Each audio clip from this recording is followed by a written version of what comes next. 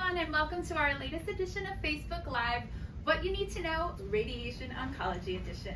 I'm your host, Jennifer Williams, and we are lucky enough to have uh, not only an incredible doctor, but a really remarkable person, Dr. Alison Grann, Chair of the Department of Radiation Oncology here at Cooperman-Barnabas Medical Center.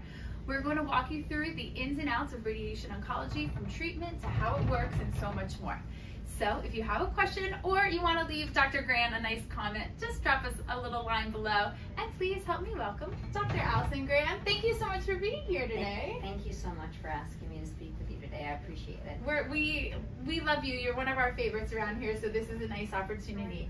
So why don't we just dive right in and tell us a little bit about the work you do here at CBMC. So I'm chair of radiation oncology at Cooperman Barnabas Medical Center, and I oversee um, the delivery of and safety and sort of the overall department for our patients who seek care. Mm-hmm. Um, it can be patients either with cancer and also in radiation therapy. You sometimes treat benign diseases or non-cancerous diseases with radiation. So I have the privilege of overseeing the department. And um, you know, just to kind of broadly, like what is radiation oncology? So um, radiation oncology um, is a description for radiation treatments, x-ray treatments to treat primarily cancer patients. Mm-hmm. There's radiology, which is a diagnostic department where they do CAT scans or MRIs or the Mhm. things you more traditionally think of. But radiation oncology is actually therapeutic radiation, therapeutic x-rays to help to treat and cure cancer.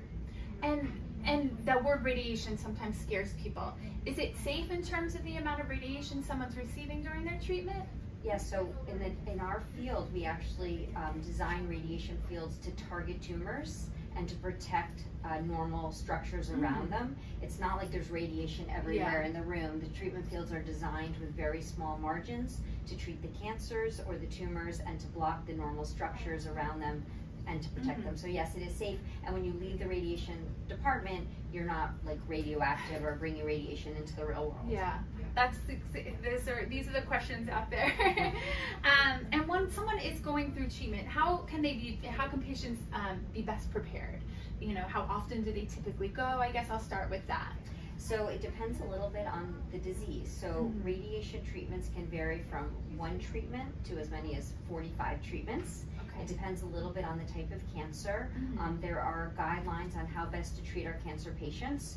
In general, radiation is given as an outpatient treatment, so patients can usually drive themselves, come for Mhm. treatment, and, and leave the department. In terms of best preparing, um, uh, we have a big infrastructure, and our nurses help our patients to prepare before they Mhm. start treatment and review if there's any dietary restrictions depending on the diseases we're treating.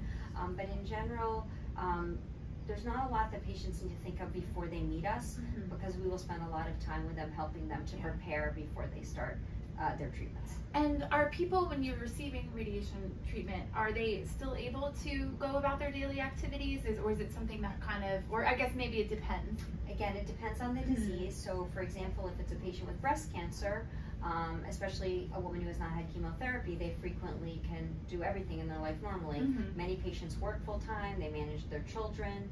Um, if for certain diseases, Mhm. if you're getting especially chemotherapy and radiation at the same time, let's say for lung cancer or esophageal cancer, the side effects may be more Yeah. significant. Mhm. So um, patients may need to sort of adjust uh, their daily lifestyle. Mhm. And what side effects can patients expect? So again, it depends a little bit. Radiation works Mhm. like a pencil. So it, we target uh, an Okay. area, so it depends on what area we're targeting. So if you're treating a woman, let's say with breast cancer, Mhm. the breast sits outside the body, so Mhm. there are really not a lot of side effects, breast tenderness or um, some discomfort. Mhm. But if you're treating an internal organ, um, let's say a, a stomach cancer or uh, prostate cancer, Mhm. patients may have a little bit more change in bowel movements or, or side effects just related to we're pointing this Yeah. pencil. where That's a good way to look at it, yeah. That makes, that helps my brain make it more sense. And does it hurt? Radiation does not hurt. Okay. Um, there's really two main types of radiation. There's internal radiation, that's something called brachytherapy, Mhm. and external radiation, which is like an X-ray. And actually, sometimes we even give IV radiation. Those are radio pharmaceuticals. Okay. Um, but radiation does not hurt. You do not feel anything when you're getting treated. It's Mhm. sort of in general like a chest X-ray. When you you don't feel anything when the machine is on, and you don't feel anything when the machine turns Mhm. off. and to kind of um, go uh, on the different types of treatments. So there are so many different types of radiation treatments. Can you tell us some of the main ones and what they treat? So um, uh, one of the newer technologies or more advanced technologies is something called stereotactic body radiation therapy. Mm-hmm. That's a treatment which can be anywhere from one to five treatments. Mm-hmm. We have a machine called a CyberKnife, which is uh, designed to specifically deliver this type of treatment, mm-hmm. specifically for patients with brain tumors and also some benign diseases like trigeminal neuralgia okay. and also for prostate cancer. Um, and then there are other types of radiation where you give a slightly lower dose over a longer period of time. Mm-hmm. Um, and you want to do image guidance so that you can ensure that you're targeting the tumor every day and mm-hmm. not treating normal structures. So we have in our department a Halcyon machine which helps us to do that. Mm-hmm. We have a TrueBeam linear accelerator and um, we actually are uh, really lucky because we're going to be opening a freestanding cancer center mm-hmm. in approximately a year and a half. And in that machine, we're going to have some, in that department, mm-hmm. we're going to have a machine known as an MRI linear accelerator, which will have the imaging capabilities of MRI and really help us to target the diseases that we need to treat.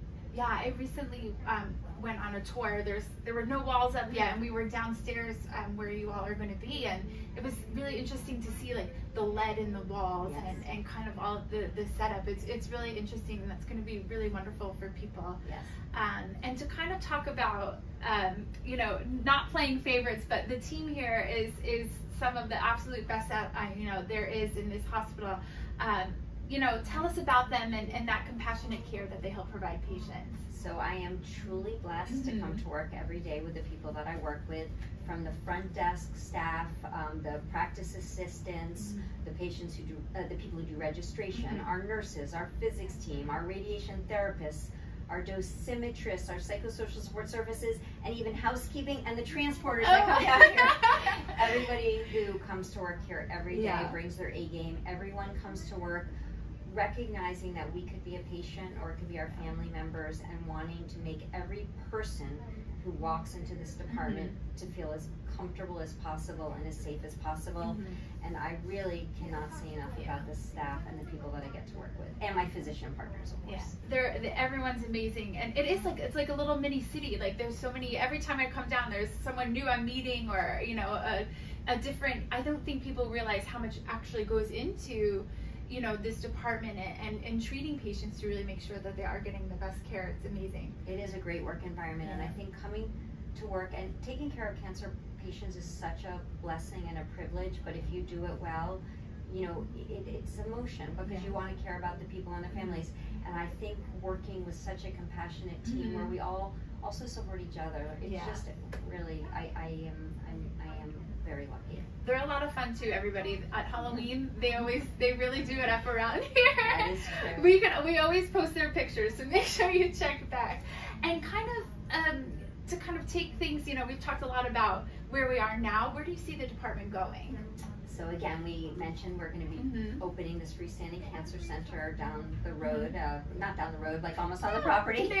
um, and so part of the future of radiation therapy is going to be adaptive treatment planning. Mm-hmm. So tumors can change and shrink while we're treating them.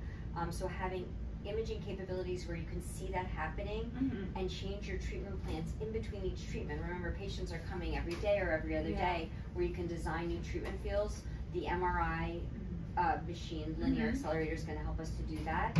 Um, again, we're having much more sort of targeted treatments and understanding the biology of the cancers yeah. more so we can better define who needs radiation and who doesn't because mm-hmm. not everybody needs treatment um, yeah. and we definitely don't treat people who don't need treatment yeah. um, the radiopharmaceuticals giving iv injections of radiation to target let's say prostate cancer mm-hmm. there's a mm-hmm. lot of studies looking at that where the radiation you give is particularly taken up in the cancer cells. Mm-hmm. So I think that also is yeah. going to be part of the future. But just really individualize. We're much better at individualizing yeah. cancer care. We will continue to do that. And, uh, and again, being in the new building, we're going to be surrounded with our medical oncology colleagues, our surgical oncology colleagues, obviously all the other infrastructure yeah. that will go there to make the process as seamless as possible for our patients. It's it's truly going to be a wonderful facility for our patients when that does open yes. in 2025. Yes. Just so you know. Um, yes.